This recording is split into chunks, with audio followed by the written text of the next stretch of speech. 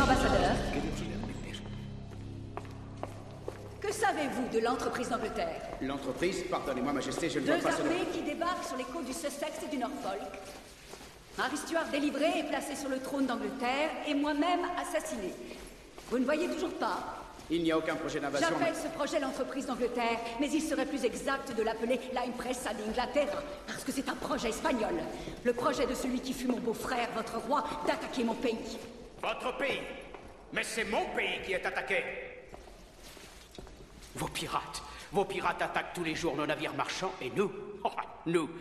Évidemment, nous savons qui les commande. Le monde entier sait que ces pirates remontent la Tamise, directement jusqu'à votre couche royale majesté.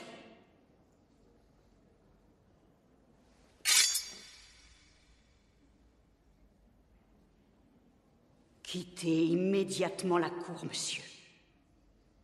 Retournez dans votre trou à rats. Dites à Philippe qu'il ne me fait nullement peur, ni lui, ni ses prêtres, ni toutes ses armées. Dites-lui que s'il veut nous menacer de son petit poing, nous le mordrons si fort qu'il se repentira de ne pas avoir gardé les mains dans ses poches. Vous voyez tomber une feuille et vous croyez savoir de quel côté souffle le vent. Prenez garde.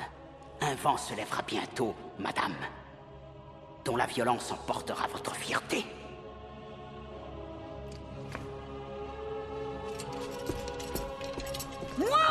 Je commande au vent.